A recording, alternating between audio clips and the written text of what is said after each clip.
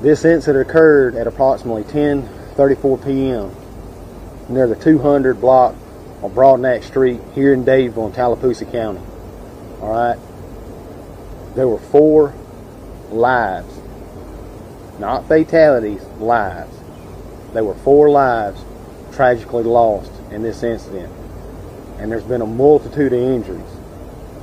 As they said, this is going to be a long, complicated process.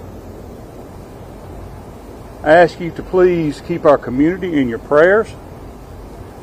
I ask you to keep my police department in your prayers.